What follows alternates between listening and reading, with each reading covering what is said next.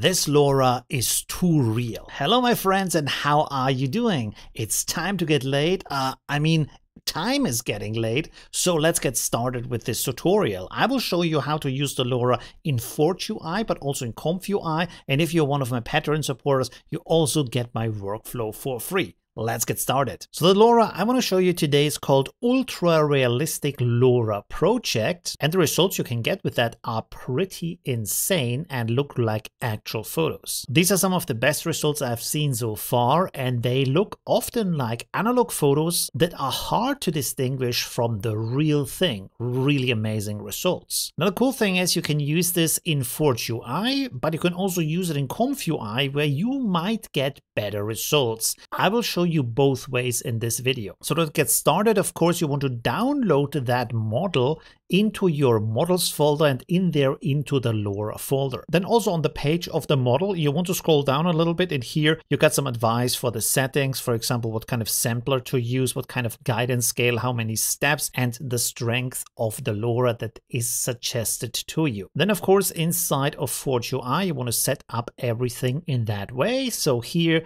we have our prompt. Here we have the text for our LoRa. You can also add the LoRa by going to the LoRa tab then looking for the LoRa and clicking on it, and this will automatically add it to your prompt. When that is done, of course, adjust the strength of the LoRa as suggested 0.87. Now down here in the generation settings, set up everything as suggested, DPM++ 2M with the beta scheduler. I have 40 steps here. I have my custom size. You can use any kind of size you want. And then the distilled CFG scale is 2.5 in that case. And this will give you nice images. I did some testing with the results you can get. And here you see the 40 step result, but you can get away with less steps. So here we have the 35 step result still looking pretty good. By the way, the holes in the shirt are from my prompt, so that is what we get. Here we have the 25 step result. We have here a bit of a problem with the clothing and also the face is getting less detailed. The whole picture is getting more pixelated. And then with 20 steps, you get a pretty strong pixelation. But it is important to notice that with this model, the images can get blurry and pixelated regardless. And it really is based on what the prompt is saying. So here I was asking for a fish eye and this kind of close-up image and it did not do well with this kind of subject. While here we have the same prompt but without a fish eye. In this case we have also a woman and you can see we have a lot more detail to that. However, if you want to get even better results, it is very important that you upscale the image. So for that you want to send that image over to image to image inside of Forge UI with of course the button down here. And then when you scroll down, you want to first of all, make sure that you have the sampling method and scheduler both correct. So DPM++ 2M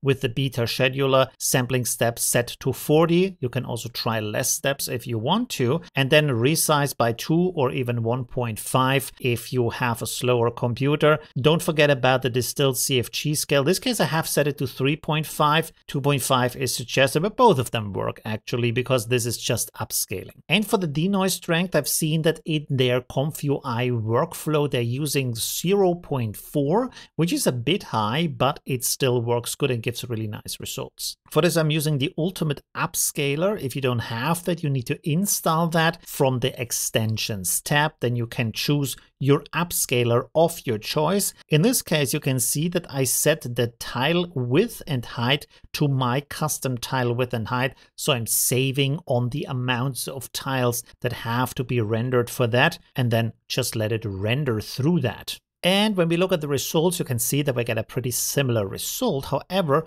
if we zoom into the face, we can see that there is a lot more face detail here. So this really helps improve the quality of the image. The reason why you want to use this with UI is because you can get a lot better quality out of that. Like you can see with the image I have created here, also very beautiful details overall in that image. And there is a official free workflow that you can download. It's a bit complex, but I also built my own one that is simpler than that.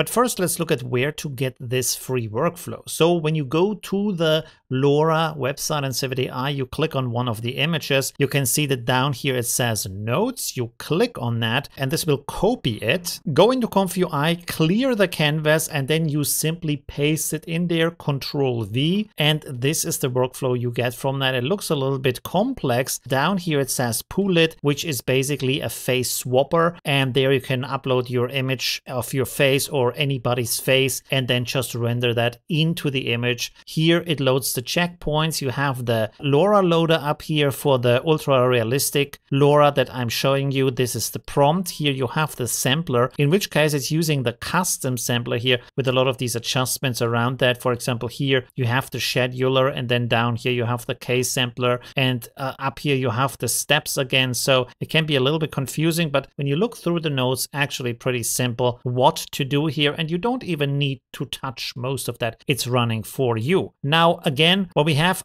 down here is an upscaler. You see here upscaler one, and you can activate that, right click on that and then say set group nodes to always. So this is activated and now it's running through the upscaler. And after the upscaler, this is then going up here into a face detailer. Again, right click, set group nodes to always, and then a hands detailer, right click, set group to nodes to always. And here they are missing the output. So stretch that over and then say save image so that it saves the image in here. And that is basically their workflow, which has a lot of different functionalities in there, but it can also be a little bit overwhelming. This is my version that you get as a Patreon supporter. It is based on my Superflux workflow. And here I'm loading, in this case, a dual clip loader and the LoRa, of course. We have here our model and, of course, the VAE. Then we have the prompt over here. And in this case, I'm just using a simple advanced K sampler, but I feel that the results are pretty good.